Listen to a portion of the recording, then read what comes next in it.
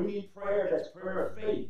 Hallelujah. Prayer that comes from the heart, deep inside. Amen. Thank you guys for praying for those who needed prayer today. I've got a message I want to share with you today, and uh, I hope that you can understand this is my Christmas message. It's the day after Christmas, but this is my Christmas message, and the title is going to excite you about Christmas. The title is this The Thief Comes to Kill. Hallelujah. Hallelujah. The thief comes to kill. Yeah, because Christmas led into a lot of killing. Because the thief is trying to steal God's word, God's will, God's plan. And we need to be aware of the thief. If you're not prepared, if you're not protecting your family, the thief will steal and can kill. And he can even destroy. But there's a word in the Bible that starts in Genesis chapter 3:15. It's the first prophecy in the Word of God.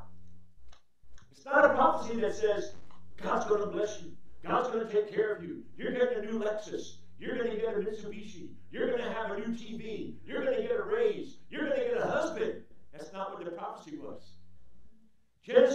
15, after the sin in the garden, after the serpent, that old dragon, the devil, had come in, and by the way, he was not a snake. This was not a talking snake. This was the word nakash, which means a shining one. And it's poorly translated as serpent, when it should just be saying, and the shining one was more subtle than all the other creatures, all the other beings that God made. but somehow, we end up with Nakash. Now, Nakash is also a word that is translated into serpent in the Bible also, but we have to have the context to know which translation it is. So, uh, a little bit of history, of course, a little bit of teaching from the teacher. Amen. But right now, Genesis 3.15, God looks at Eve because Adam blamed her. What you got to say for yourself, girl? He says to Adam, what do you got to say for yourself, boy? He said, well, you know, the woman you gave me, she gave me the apple to eat. You know? So he blames God, yeah, and he blames her. Mm-hmm. That's what we all do. We shift the blame. We always shift the blame. Shift the blame. Put it on somebody else. Amen? So Adam is left out of that. He's just like, forget about it. Now, Adam was the king of the earth. You gotta, you gotta understand something. Adam was the first king of the earth. Adam was the first priest that God put on the earth, who was a king priest. And Adam was a prophet because whatever he said, whatever he called the thing, that's what it was. So he was a king, a priest, and a prophet. He was a Melchizedek priest. More about that in a future message. But he, he had dominion. And when he disobeyed the word of God, he gave up the dominion. He gave up the kingdom. And he lost it. But God addresses Eve, and then he addresses Satan.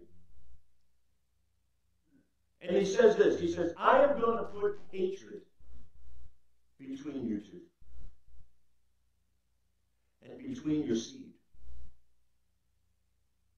He says, Your seed will bruise his head. And then he says, And your seed will crush his heel. He's saying to Satan, You're going to have a victory, but he says to Eve, Your seed is going to have a victory too. And we know how the victory wins, how the victory turns out. But what God is saying is that He's saying, I'm going to put hatred between you two. The word enmity in the King James means hatred. It means also hostility. It means action. Someone can hate and not do anything. But when the devil hates you, he's going to do something. And when the seed of the woman hates evil, he's going to do something. He hated evil. Jesus was the seed of the woman.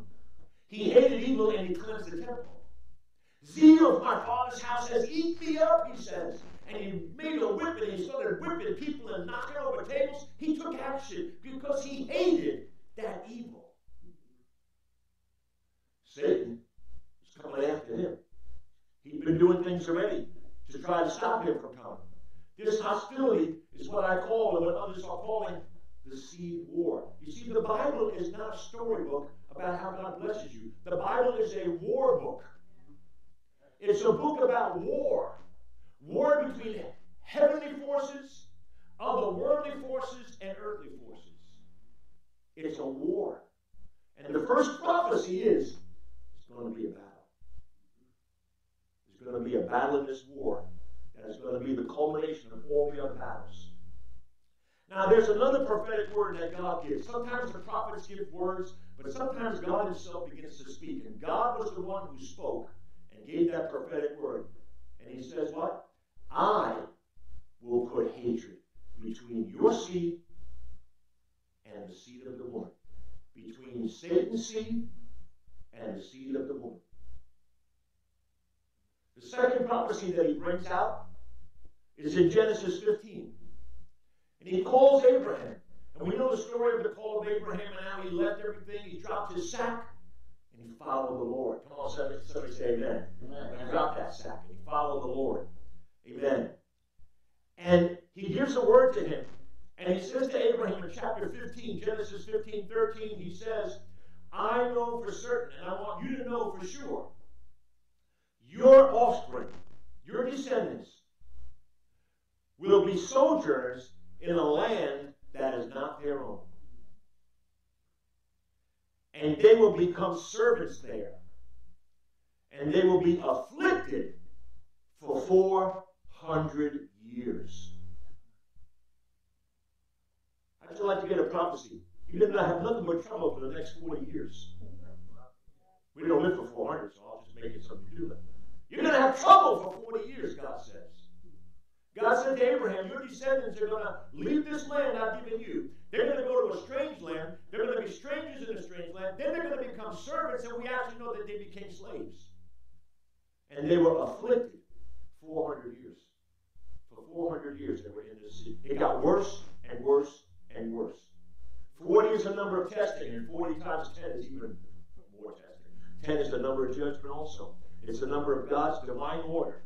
10 commandments, 10 plagues, 10 is a divine order. And so God gives this prophetic word there. He gives a specific period of time. Guess who's listening? The servant. Maybe not him, but he's got, a, got one of his little peeps down here listening in. What did he say? I heard him speaking to Abraham over there. What did he say? He said his descendants are going to become servants and be afflicted for 400 years. Mark that down. What? That their slaves no than 400 years. I don't care that they're afflicted. I don't care that they become slaves. I don't care nothing about them. I care about that 400 years because you see, the seed's going to come from a woman. Maybe that's the seed that's going to come in 400 years. I've got to be ready. I've got to stop the seed. The only way to beat this war is to abort that seed.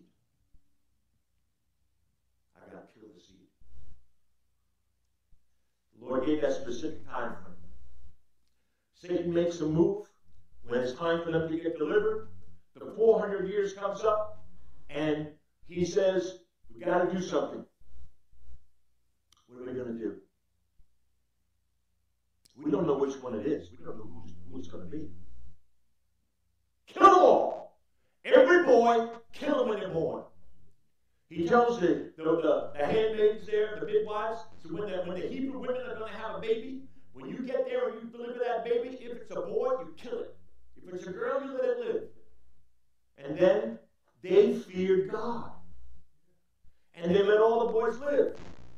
And then he started rounding them up and he started killing them. And, and, and Moses' mother and father saw that Moses was special. The Bible says they saw he was special. There was a calling on his life. He wasn't the chosen seed of the woman, but Satan didn't know that. So Satan's just going to kill them all if he can. And so they take him, of course, they put him in the, in the little ark of safety, just like Noah's ark. And they put him out in the river. And where does he end up? In Pharaoh's house. And his enemies feed him and take care of him. God can turn your thing around. Those that are against you can end up for you. They will turn against you later on, but enjoy it while you got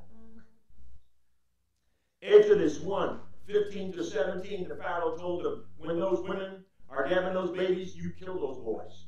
Because the thief comes to kill. The thief comes to kill. Hallelujah. Thief comes to kill. Well, it ended up that Moses, of course, was not the seed of the woman, but he was a great deliverer, he did lead the people out. So Satan says, all right, somebody else is coming. We're going to find out. We got to keep going. We got to start watching. We got to listen to the prophetic words that God sends to the people because He never does anything unless He tells His prophets. So when this Messiah is going to get born, there's going to be prophecy about it. Can you say amen? Hallelujah. Matthew chapter 2. He finds out that something's going on. He finds out that there's a that, that there's a baby being born, and he finds out that this baby that was born is the Messiah. He is the chosen seed. How in the world, since it's Christmas time, how in the world did the Magi know that Jesus was going to be born in, in Bethlehem, in the city of David? Well, they didn't know that, but they came to Jerusalem to see the, the king that was born. How did they know he was coming? Because of the prophecies in the Word of God. The prophecies in the Word of God spoke about it. And how did they know about the prophecies in the Word of God? Because God had a young prince, one of the king's sons, back in the days in the first year of Nebuchadnezzar. When Nebuchadnezzar was king the first year, he went and attacked Jerusalem and he took away the princes of the people, the king's seed. Shadrach, Meshach, Abednego, Daniel. These weren't just kids. These were the lineage of the kings. He took them away. And Daniel, of course, we know Daniel ends up becoming a great man because God gives him the ability to understand dreams and visions, and he has all this wisdom. And Nebuchadnezzar raises him up. After Daniel is given a vision that uh, uh, uh, of, of something Nebuchadnezzar had a dream and couldn't think of the dream, couldn't remember it, and was going to kill all the wise men, all the magicians, all the astrologers, all the Chaldeans, all the Magi. He was going to kill all the Magi. Daniel found out, he said, wait, we're going to pray. You guys with me? You're praying? Got a prayer team going. And they began to pray. And he said, just give us a couple of days. I'm going to come back and I'm going to give you the dream and the interpretation. And he does. And Nebuchadnezzar bows down before him and says to him, Oh, Daniel, there is no God like your God. He is a revealer of dreams. He is the one who can do these things. And he says, I want Daniel to be lifted up and raised up. So this prince of the Hebrews becomes a prince of the Babylonians. God is saying to some people who are going to watch this and listen to this, you need to get into politics. You're a prince of God. You are a chosen generation, a royal generation. And you need to get into politics. God wants godly men and women in politics because they're the ones that understand the things of God, and they're the ones that are going to fight for what's right. Amen? We ought to get a prayer team going to pray for America. Some people are doing it already, aren't they? They're praying for politicians, not for just politics. I don't even care about the politicians. I want godly people to get risen up, be raised up before God. Amen. Thank you. Shawn Hyland he's a friend of mine. He's running for office in New Jersey. He's the head of a, of a, of a Christian Family Policy Council, and he's decided to get in politics We need to pray for him. His picture's in the hallway. I put up a poster for him. I want you to pray for him for the next year so when the election comes, he gets elected and not some lackey for, for the devil. Amen? We need righteous men and women like Daniel. Now, Daniel, the Bible says when Daniel gave Nebuchadnezzar the, the dream and the interpretation, Nebuchadnezzar put him over all of the others in Babylon and made him the chief of the Magi, the Chaldeans the astronomers, and all those guys. But he was the head of them all. And Daniel used his position to tell them all about the coming prince who will, a star shall rise in Judah. And how he was going to come. And how the seed of the woman was going to come forth and crush the head of the of Satan's seed. And he begins to teach them. So when Jesus is born, the Magi see his star. Why did they see his star? They were looking for it. They were looking for it. You can't find it unless you're looking for it. Some of us got to start seeking God. Start looking for the things of God.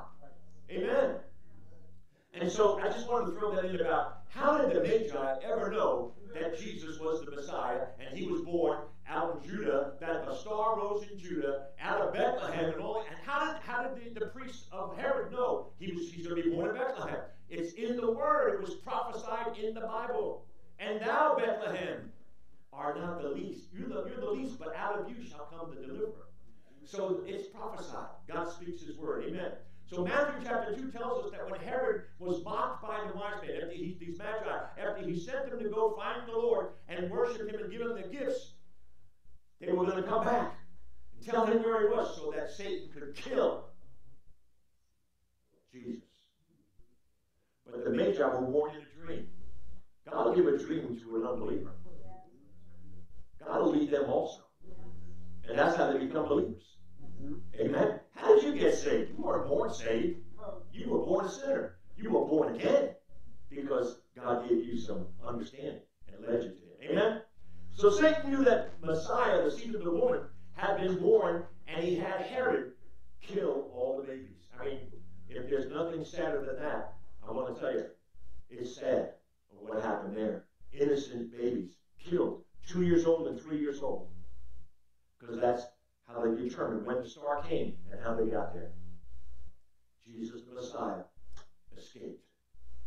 Moses escaped. Jesus escaped. When the tribulation comes, do you plan to escape? You can. If you're in Christ. If you're seeking the kingdom. If you're following hard and pressing in, like I said before, you gotta press in. If you're pressing in, he'll be there with you. Amen. Oh Lord. So Moses the deliverer was not the seed of the one, although the serpent tried to destroy him. Herod tried to kill the Messiah because Satan put it in his heart to kill them. And the Apostle John, later on, when he begins to see the visions of Revelation, he begins to see these things. And it's in Revelation 12 that he sees this. And he says this in Revelation 12, starting in verse 1. And there appeared a great wonder or sign in heaven a woman clothed with the sun, and the moon under her feet Upon her head a crown of twelve stars. And she being with child, travailing in birth, in pain to be delivered. And there appeared another wonder or sign in the heavens. Now, where do we get these signs in the heavens? You got to go back to Genesis when God created the stars and the planets, and He set them in the heavens as signs for signs and for seasons. They're not just here to tell us the seasons. They're here for signs, supernatural signs.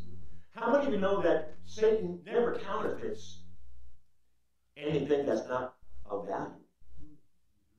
Does any, has anybody ever counterfeited a penny? It's not that valuable. Counterfeit pennies. Wow, you're smart. Satan doesn't counterfeit pennies, but he will counterfeit signs in the heavens. How does he do that? The horoscope. He takes something that God set in the heavens and he counterfeits it and he turns it into what sign are you? I'm a Libra. I'm a Virgo. I'm a Lion. I'm a Leo. I'm a Pisces. I'm a crab. You are a crab. But anyway. You know, I, I really, when people always ask me, what sign are you? And they tell me, I'm this, I say, I'm born under the sign of the cross. And they're like, "What?"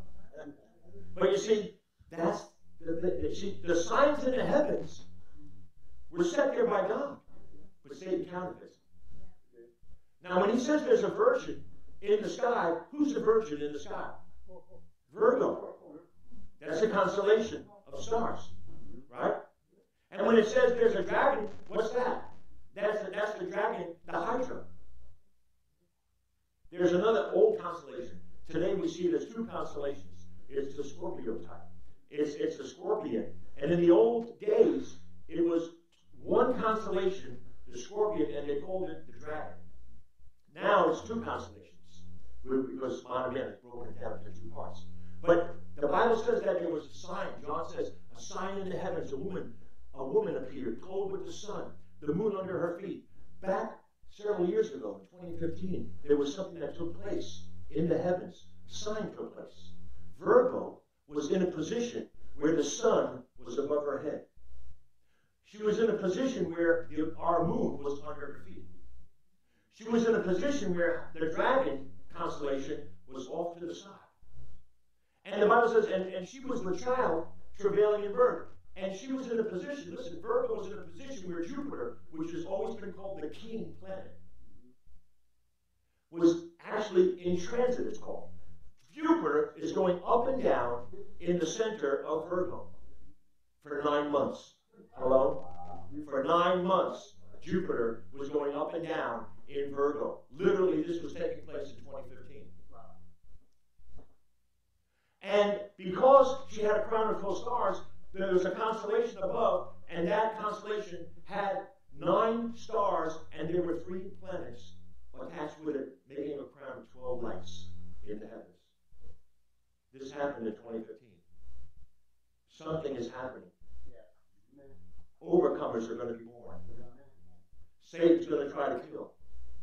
We need to understand these things. So, it says this. It says, she being with child cried, travailing in birth and pain to be delivered. And you know that the amazing thing is that God set this whole thing up as a picture in the sky, and Jupiter, the king planet, is going back and forth in transit for nine months, and then at the end of nine months he leaves. And he goes on his circuit in the heavens. And the Bible says here that there appeared another wonder in heaven. Behold, a great red dragon having seven heads and ten horns, seven crowns upon his heads, and with his tail he drew a third of the stars from heaven and cast them to the earth. And the dragon stood before the woman which was ready to be delivered to devour her child as soon as it was born. And she brought forth a man son. Your Bible might say man child, but the actual Greek, the actual wording is a man son, not a baby boy, a man a full grown son. And her child was called up to God and to his throne. Now, Satan is out to kill, steal, and destroy. And this is a picture of him trying to kill Jesus when he was born. And it happened 2,000 years ago. But if this sign just appeared six years ago, God must be saying something to us. Because it literally appeared in the heavens. Look it up. Go online. Virgo in, in the sky, you know, Jupiter in transit, whatever, however you want to work it up. If actually, if you have an astronomical program on your on your on your computer, you can plug it in and you can go back to 2015 and you can watch and you can see the whole thing take place. Something has happened. Now, his plans were ruined. He went to destroy the son, the man's son, but he couldn't because he was called up to God. And what happens? Verse 17. The dragon was filled with wrath against the woman. And he went to make war. I'm talking about the seed war. talking about the seed of the woman and the remnant of her seed, which keep the commandments of God and have the testimony of Jesus Christ, the overcomers. The remnant. Satan is at war with the remnant today. This war broke out in full force six years ago. And he's after those who would be overcomers. Those called to rise up above, those called to press in, those called to give it all or bust. You see, not everybody's called that way. You've got five wise and five foolish. You've got the five wise that got the extra oil. You've got the five foolish, they didn't bring any extra. They weren't prepared. They weren't preppers. They weren't prepared. And then they said to the, to the preppers, hey, give us what you got.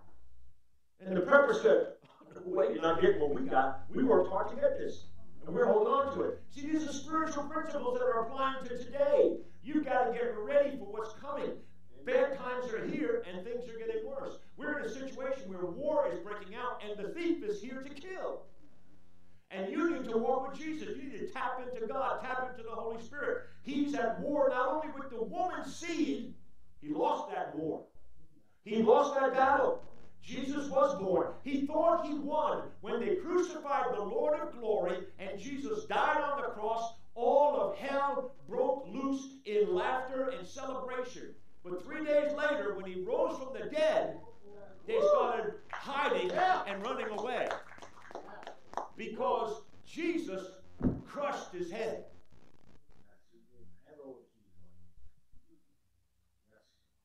When he stepped on it with his heel. Prophecy is coming past. So Satan says, hmm, lost that battle. I'm going after the woman. But the Bible says that God gave the woman some safety and some and things like that, helped her get away. And then Satan said, going after the seed of the remnant. First thing in Gideon's day, when they're going to fight an overwhelming force, and I want to tell you, Satan is an overwhelming force. He's more powerful than you, he's smarter than you. He knows the Bible better than. He's an overwhelming force. The first thing that Gideon said, God told Gideon, the prophetic word from God said to Gideon, Tell everybody who's afraid they can go home, it's okay. And I'll tell you, there's a word going out in the spirit in the church. If you're afraid, don't get in this battle. Just go home. And people are going home. They won't come to church. They won't meet with the saints. They won't fellowship. Fear has gripped them, and they're staying away. Oh, and I know you'll be mad at me, but I'm sorry. We have to get to the place where we're not afraid, where we walk in faith. And even after those who are afraid went home, what happened next? Those who were used to bowing their knee down to false gods and false idols, he took them away also, and he was left with 300 out of 30,000.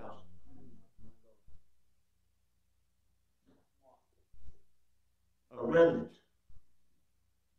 And Satan is after you. If you are happy to be called an overcomer, if you're happy to have the label of a remnant, the remnant of God, you better get your armor on. You better get ready for battle. You better not think this is going to be a picnic or a cruise.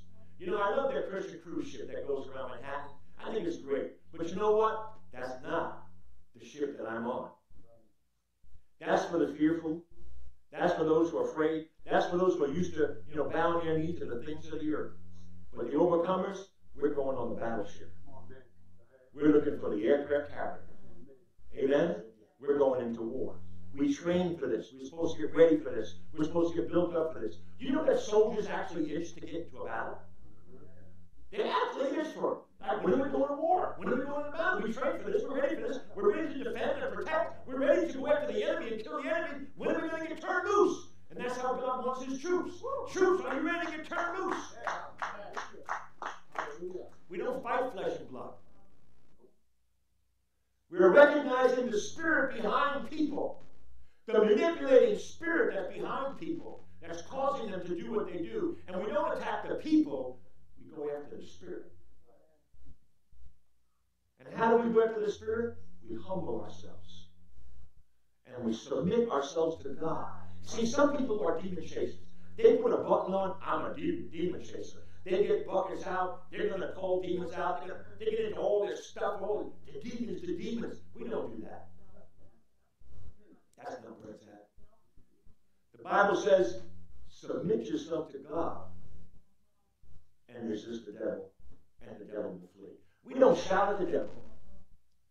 The Bible says even Michael the archangel, when disputing with the devil about the body of Moses, did not accuse him or speak loudly against him but just said, God's will be done.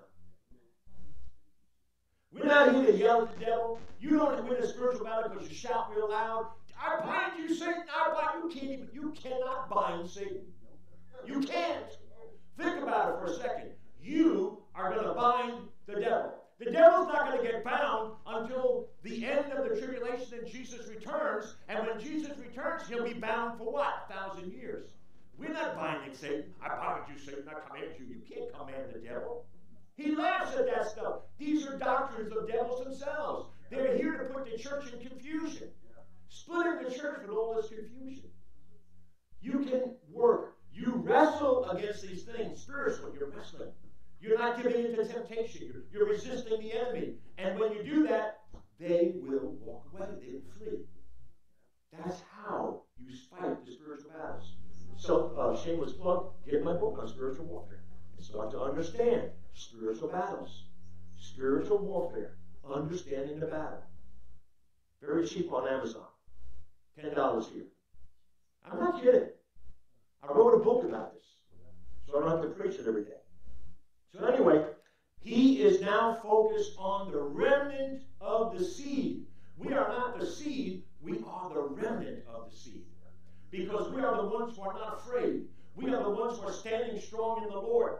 We know that Satan is trying to do things to get us, and it tells us in the book of Daniel, chapter 7, verse 25, he shall speak great words against the Most High, and he shall wear out the saints of the Most High. Satan cannot kill you. You are protected by the blood of Jesus. Satan cannot steal everything from you as long as you're submitting to God. He cannot destroy what God has given you, but you need to understand something. He is going to try to wear you out. He's going to try to make you quit. He's going to make you try to walk away. He can't kill you, so he'll make you walk away. He'll wear you out. How does he wear you out? The word wear out in the text, in the actual Hebrew, in Aramaic, it actually means to wear them out mentally, emotionally.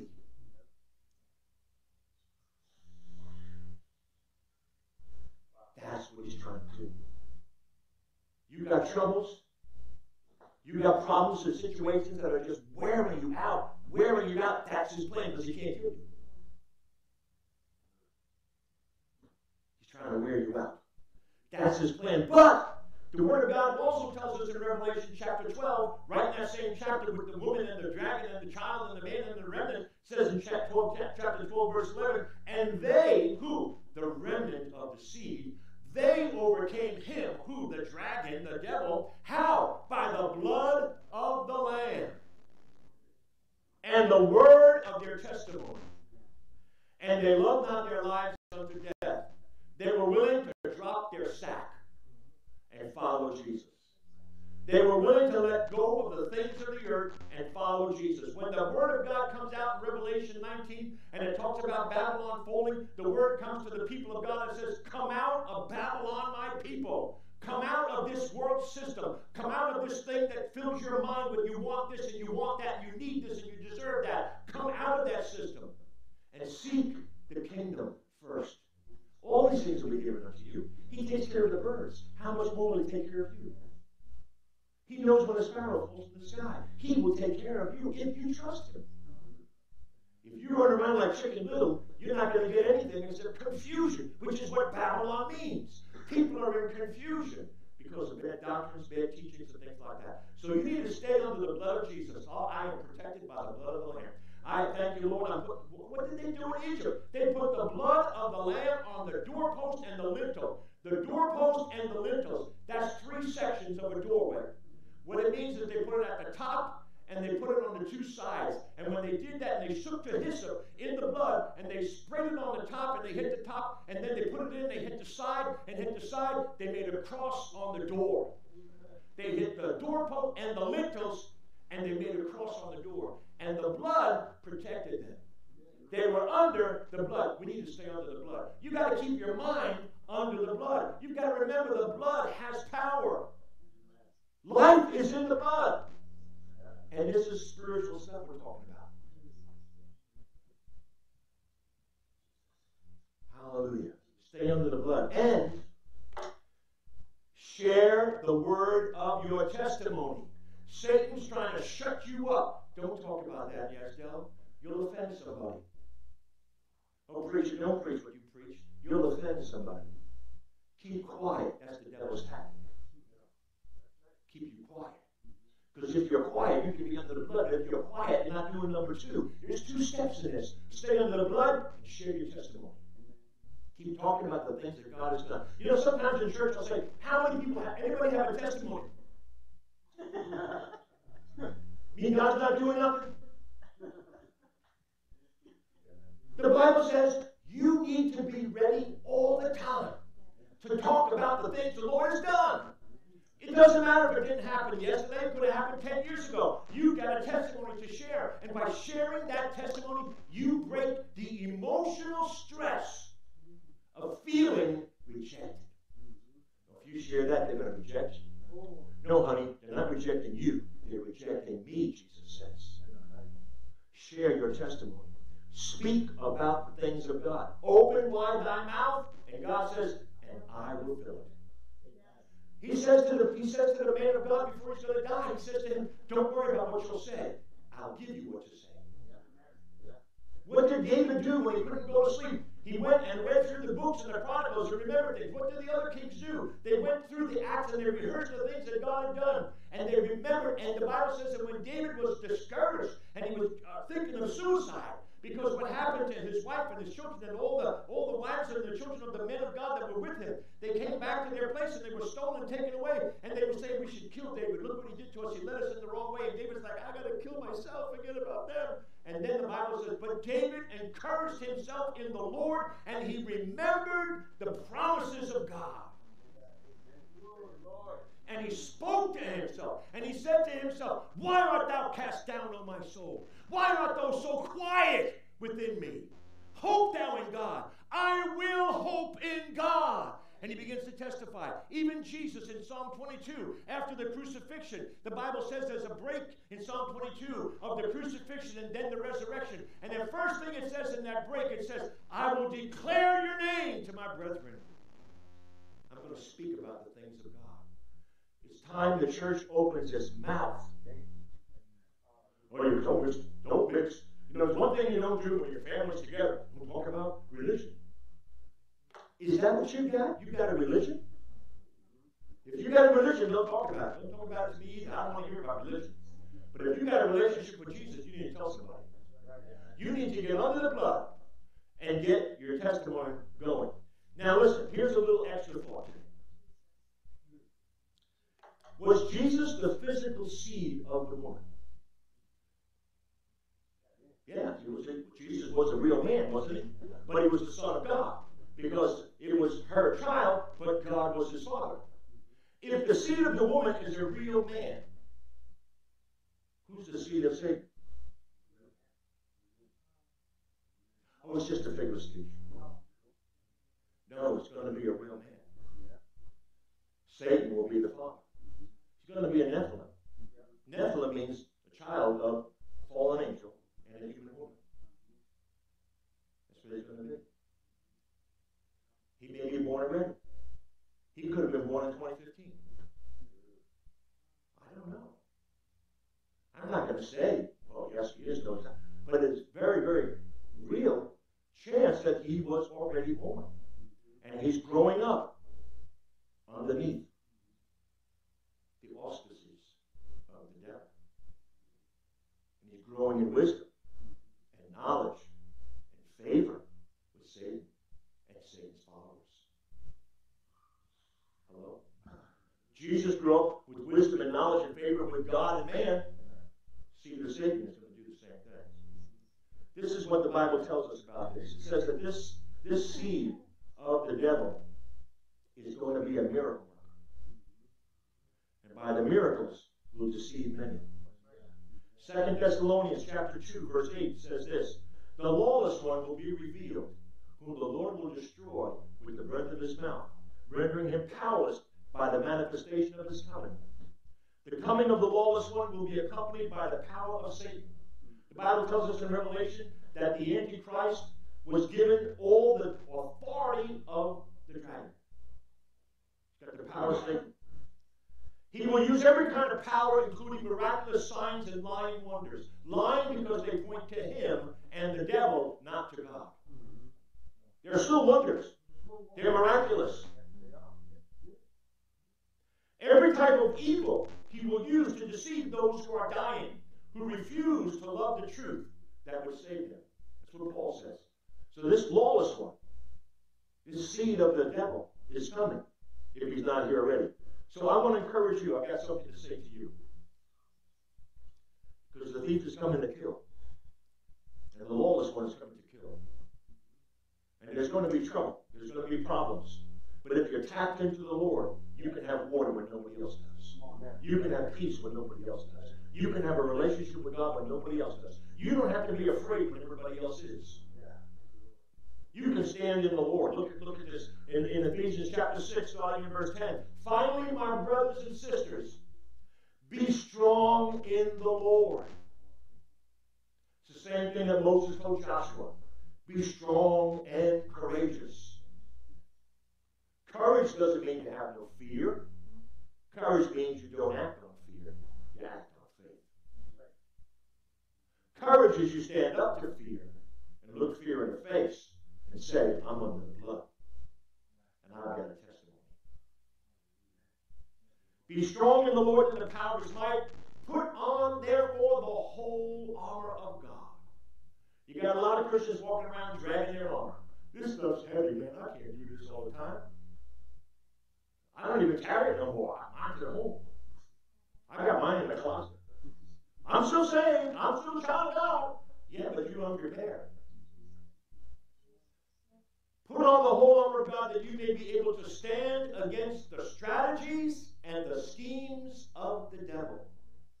King James says wiles of the devil, wiles of the wicked one. It means strategies and schemes, wearing out tactics.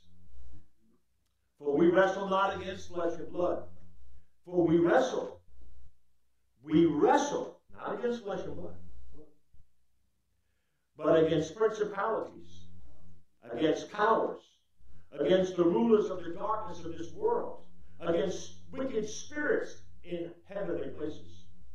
Therefore, take on the whole armor of God so you can stand in the evil day.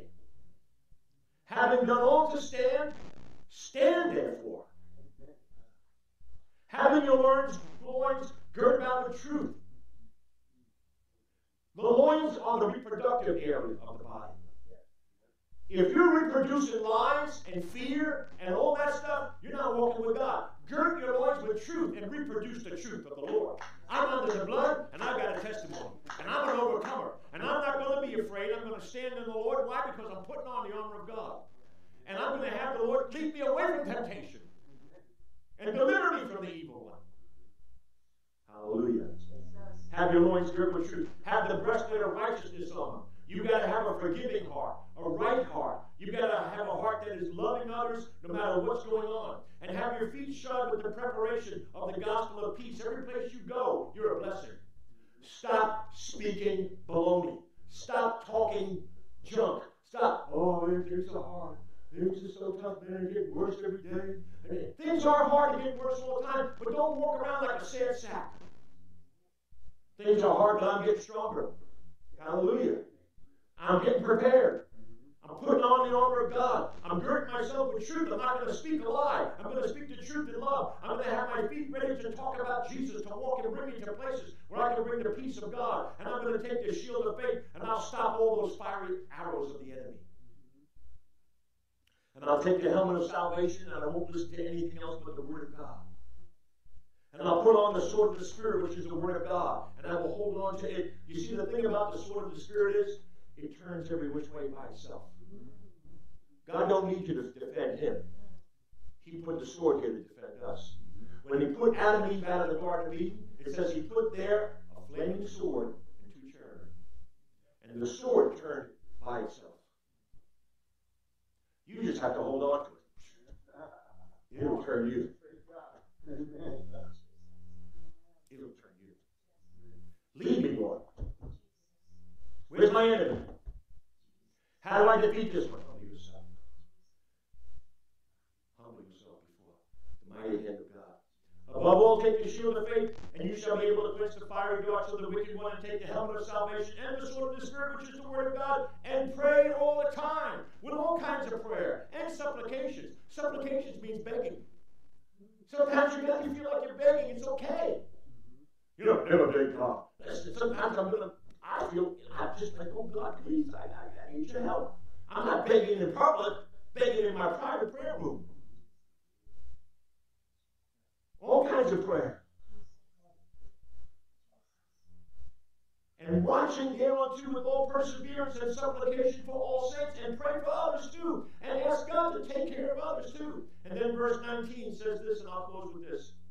And don't forget to pray for me, so I can preach the word of God boldly, without fear of what man may say. Amen. Amen. Amen. You pray for that.